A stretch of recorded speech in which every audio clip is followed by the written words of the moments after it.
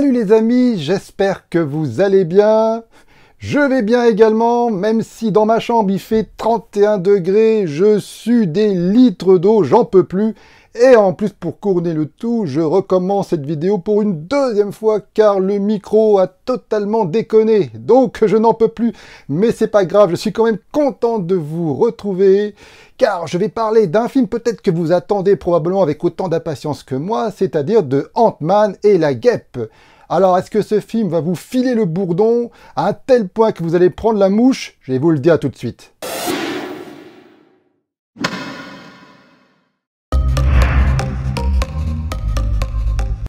Que raconte Ant-Man et la guêpe?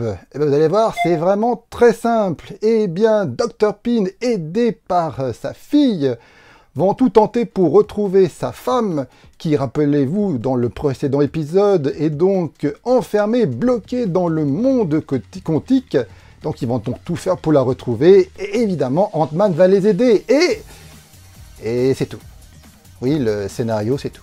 Le film est budgété à 160 millions de dollars et il est toujours mis en scène par Peyton Reed, qui a donc mis en, scène le précédent épisode. Donc euh, il y, a une certaine continuité, hein, surtout qu'au niveau du casting, on retrouve bah, les principaux, ils sont tous là. Michael Douglas, Evangeline Lilly, Paul Rudd, j'ai bien dit Paul Rudd, et euh, d'autres personnes comme Laurence Fassbinder, Mitch Pfeiffer, enfin, y a, voilà, c'est un beau casting, on va dire que c'est du beau linge tout ça pour ce film. Ant-Man 2 est donc la suite directe de Ant-Man 1, ça évidemment, mais c'est aussi une suite directe suivant les, bah, événements de Civil War. Donc si vous vous souvenez, euh, Ant-Man s'est fait emprisonner à la suite de ses mésaventures à Berlin dans Civil War, donc il est... Euh, bloqué chez lui. Il n'a plus le droit de quitter sa maison pendant deux ans, il me semble. Donc il est assigné là. Et, vous, vous, en doutez, Ant-Man s'ennuie ferme. Il n'a pas du tout le droit de prendre son costume de Ant-Man et jouer les super-héros. Donc on retrouve Ant-Man dans cette situation dès les débuts du film. Dans Ant-Man et la guêpe, on retrouve vraiment tous les ingrédients qui ont fait le succès du précédent film. C'est un film très dynamique, très mouvementé, qui est avant tout une comédie d'aventure, un peu dans la lignée des productions Spielberg des années 80, comme L'aventure intérieure de Joe Dante. On est vraiment dans ce niveau-là. C'est vraiment, c'est probablement la production Marvel la plus familiale. Vous pouvez amener les enfants pour voir ce film sans aucun problème. C'est divertissant, c'est très léger, c'est très rythmé, c'est spectaculaire, on s'y ennuie pas. C'est exactement comme le précédent épisode et le casting, bah, il a fait le job dans le précédent épisode, et ben il le fait toujours là. Ils sont tout aussi bons. Si vous avez aimé l'humour, les punchlines de Paul Rudd dans le précédent film, vous allez les aimer là aussi. Mais, et il y a beaucoup de mais quand même. Tout d'abord, le scénario, l'intrigue. Comme je vous l'ai dit, c'est extrêmement mince, ça tient vraiment sur un timbre poste. On est vraiment loin des grandes aventures qu'on a pu voir, découvrir dans Avengers 3 ou dans Black Panther. Mais ceci dit, c'était déjà le cas dans le précédent épisode de Ant-Man, rappelez-vous. C'est avant tout un film de cambrioleur, de cambriolage. Là, c'est un film d'aventure dans la lignée de l'aventure intérieure ou même de Chéri, j'ai Tracy les gosses. On est à ce niveau-là. Donc c'est beaucoup plus léger que les précédents, les précédents films, je vais y parvenir, qui étaient beaucoup plus sombres. Mais euh, donc pourquoi pas? Mais quelque part, ça peut quand même décevoir. Ant-Man 2 se passe plus ou moins avant et pendant les événements d'Avengers 3. Et donc c'est donc un film très attendu parce que on sait que Ant-Man a priori aura une certaine importance, voire une grande importance dans le déroulement d'Avengers 4. Bah là vous pouvez être déçu là aussi. En effet, les références à Avengers 3 sont vraiment très très maigre. Et mis à part la scène post-générique où l'on... Bon, je... Je vais pas spoiler. Je dirais ça dans la seconde partie, la seconde partie spoiler, où je vais vous parler de la scène post-générique. Disons, c'est quand même la seule scène où on décrit vraiment, enfin, ça se passe vraiment au moment des événements d'Avengers 3, quoi. Donc si vous voulez, vous pensez vraiment avoir une suite directe d'Avengers 3 et avoir certaines clés, vous allez être très déçu, car en fin de compte, Ant-Man 2 n'est qu'un film de transition vers Avengers 4. Et c'est tout. Et quelque part, faire un film de transition qui dure deux heures, c'est peut-être beaucoup pour pas grand-chose en fin de compte. Surtout qu'au niveau des scènes d'action, il y a vraiment peu d'originalité. Les seules scènes marquantes, bah, vous les avez vues dans la bande-annonce, comme vous l'avez remarqué très souvent, que ce soit les bagnoles, les immeubles, évidemment les personnages vont constamment changer d'échelle de grandeur, ils vont être minuscules ou au contraire être géants, ainsi de suite. C'est la seule originalité et quelque part ça en devient plus ou moins lassant au bout d'un moment puisque il n'y a que ça à se mettre sous la dent. En plus, contrairement aux précédents films, ces fameuses scènes justement de changement d'échelle de valeur, eh ben, ils étaient bien mieux traités, bien plus précédents dans le précédent film.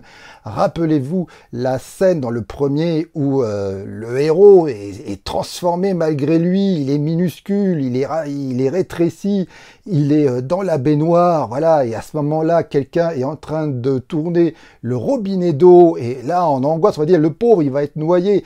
C'était une scène forte dans le premier Ant-Man. Dans le Ant-Man 2, il n'y a aucune scène qui, euh, qui a ce moment d'intensité. Aucune. Et c'est un peu dommage. C'est du grand spectacle, c'est ludique, mais voilà. Il n'y a, pas, a pas vraiment un réel impact, une réelle intensité comparé au précédent film où il y en avait un petit peu. Autre faiblesse pour moi, c'est peut-être la faiblesse la plus importante du film, c'est le méchant. Comme vous le savez, un super-héros a besoin d'un grand méchant pour exister, et là c'est le moins que l'on puisse dire, il est très très faible. Le super méchant c'est Ghost, un personnage d'ailleurs qui est féminin dans ce film, dans la bande dessinée c'est un homme. Là, Ghost c'est une femme, et euh, d'ailleurs, elle est interprétée parfaitement par, euh, comment elle s'appelle déjà? Anna Jones Cameron, je crois. Anna Jones Cameron. Euh, dites-moi si je me plante. Elle est très bien dans ce rôle, hein, mais sauf que c'est pas un personnage très intéressant. Alors, est-ce que ce personnage aura un rôle important dans Ant-Man 3 ou dans Avengers 4 Peut-être pourquoi avoir fait en sorte que ce soit une femme et non un homme? Est-ce qu'il va avoir un triangle amoureux entre Ant-Man, euh, la guêpe, interprété, je ne l'ai pas dit évidemment, par Evangile Lily, ou euh, Ghost Tout est possible. Je n'en sais strictement rien, évidemment, mais je me pose la question. Pourquoi c'est une femme? Pourquoi pas, vous allez me dire, mais voilà. En tout cas, le méchant, en tout cas dans cet épisode, même s'il y a des moments relativement forts, c'est pas un grand méchant euh, dans ce film-là. Et c'est d'ailleurs été la faiblesse du précédent film. Mais ça l'est encore plus ici. Et c'est dommage, c'est vraiment dommage. Pour moi, ce Ant-Man 2 est symptomatique de ce que j'ai appelé le syndrome du MCU, du cinématique Marvel Universe. Car oui, pour moi, je trouve que Marvel réussit parfaitement ses origin story.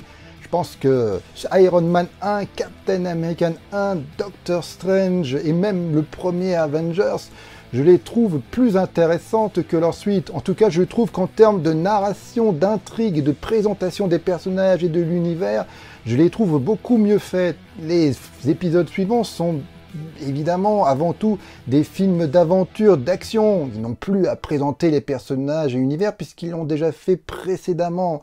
Mais le problème est là, si le méchant n'est pas à la hauteur et si l'intrigue n'est pas suffisamment bien ficelée, eh bien, on s'ennuie, ce n'est pas suffisant. Et pour moi, c'est vraiment le problème numéro un des films Marvel. Leurs origin stories sont souvent très bien.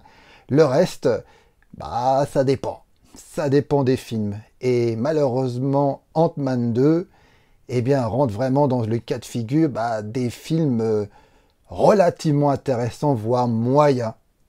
Et c'est dommage. On va donc passer maintenant dans la partie spoiler. Je vous remercie d'avoir vu cette vidéo jusque-là. Mettez un pouce bleu, mettez dans les commentaires ce que vous en avez pensé. En tout cas, maintenant, je vais rentrer dans les parties, mais vous allez, ça va être très très court, hein. ça va durer quelques trentaine de secondes, voire une minute, pas plus. Donc vous pouvez avancer dans la vidéo. Bon, comme je l'ai dit, donc euh, bah, Ant-Man 2 se passe, eh bien, euh, probablement quelques jours avant Avengers 3 et pendant les événements d'Avengers 3. Donc ce film, comme je l'ai dit, est avant tout une œuvre de transition et bah je trouve que je suis un peu déçu à ce niveau-là. D'abord deux heures pour euh, raconter, en fait compte pas grand-chose, pour être une simple œuvre de transition, je trouve ça assez, euh, assez énorme.